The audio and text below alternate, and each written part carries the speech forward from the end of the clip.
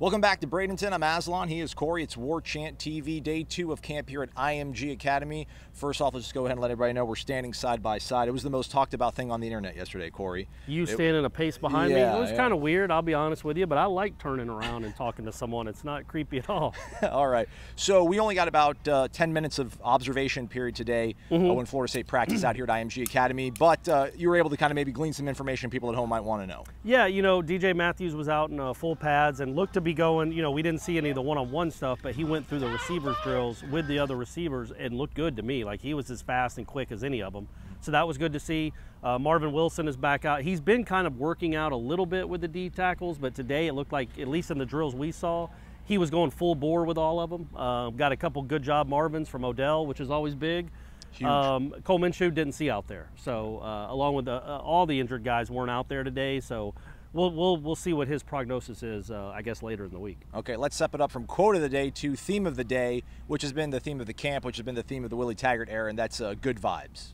Is the bonding stuff important? Coming away from camp or from campus for a week to be here, the bonding, and can you talk about how important that is? Uh, that's definitely important. Uh, your team supposed to always be together, and I feel like uh, a little bit last year we were a little separated, but this year we, the more you want, the more you're together, the more you play for each other. I feel like so um, we're, we're coming together a lot, and, and you'll see that.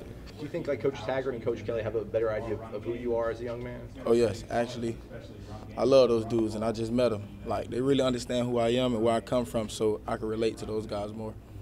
Willie mentioned it yesterday. The, the whole recruiting aspect of this might be a little bit overinflated in terms of what the fans are thinking, but the whole aspect of bringing them together down here it, it could- potentially pay dividends. Yeah, I mean, like I wrote in my column that's on Warchant right now. Check you know, out. remember how Remember the Titans? They came together at their camp. I never saw Remember the Titans. And that's I- craziness. I'm sorry. That's craziness. But they all came together at the camp. Once they ran through that Civil War battlefield, they were as one. And there's not Civil War battlefields around here at IMG. They're good. But I do think uh, getting away from everything, just being on your own at a camp like this, like the NFL and some high school teams do, it's good for them and it is good for bonding. And I just do think that, you know, Nooney talked about it, but.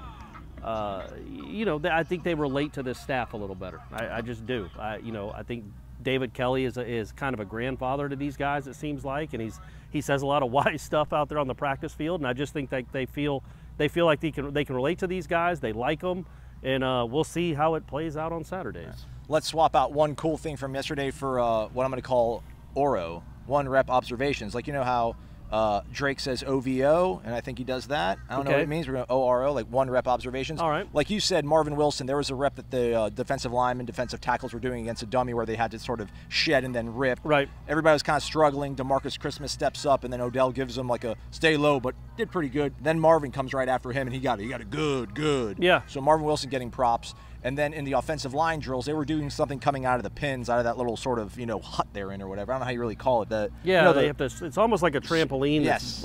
Low. yeah. Jauan, I think the whole point of it was that you had to get your eyes up coming out Right. of your, your blocks um, because it's it's it's going to the second level on a block. Jauan Williams came out great, and, and Greg Frey gave him a good, good attaboy, Jauan. So There that was good to see. There and then go. again, these are one rep observations, folks. So don't get like too hot takey on this. And I saw Cam McDonald, the tight end from Long Beach Poly. He looked really smooth. He's he's another tight end, that, but it's a wide receiver. Uh, pretty much, it looks like in terms of his body and the way he can move. Uh, however, again, he was like the fourth tight end to go, so there's a lot of good guys in front of him. So don't uh, start any sort of uh, Mackey Award. Uh, Right, he's not on the watch list yet. But Walt Bell, we talked to him before practice, and he Cam McDonald was one of the first names he mentioned when I asked what kind of what freshmen have been standing out. And I will tell you guys, and we'll probably be writing on this kid soon. I don't know how we can't, but the guy that always gets mentioned by everyone about the freshman is Keyshawn Helton, number 20, who was kind of the the lowest rated, I think, of the wide receivers they brought in. Was kind of one of the guys that the that that came in late, that they got in on late. Um, I don't think he was offered by the previous staff, but Willie and David Kelly really liked him, and apparently he is just impressing everyone. Again, we're nine days into camp or whatever it is, but that guy's, uh, you know, they all talk about him and talk about him glowingly. Right. And then before we go, one of the biggest stories, I guess, in college football outside of Tallahassee and, and obviously the Ohio State thing, but is what's going on in Maryland with their head coach D.J. Durkin being placed on administrative leave after an internal investigation that's going on, maybe with some culture problems they're having at Maryland. Walt Bell uh, came from Maryland. You asked him a question, I guess, in terms of uh, I don't know, maybe his, his tenure there or what he's thinking about how how news is circulating. Yeah, and you guys can watch the video. Uh, I did ask him what he what was the culture like when he was there for two years because he was the OC. And if you haven't read the stories, it, it, it paints a pretty dire picture of what it was like. You know, making fun of kids, forcing them to eat because they were too fat, making them eat candy bars in front of their um, in front of their teammates. But more than anything, a young man passed away tragically, and the the thought is is that he was worked to death, and that the training staff wasn't on site to help like they should have been. Anyway, so I asked Walt Bell about that, and you know he said a lot by not saying much, and I can understand why he'd be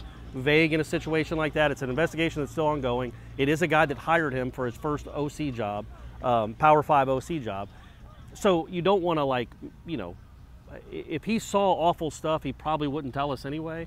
But just watch that video and see how he talks about this place and he only really talked not this place IMG. I mean Florida. We're not here. I meant Florida State. How he talks about Florida State and what he's not saying about Maryland by how much he's talking about Florida State and what Florida State is like. I think that's that's pretty telling about maybe what kind of culture was in College Park the last couple years. All right. Uh, are you going to hashtag do something for warchant.com? I'm going to sweat. Okay.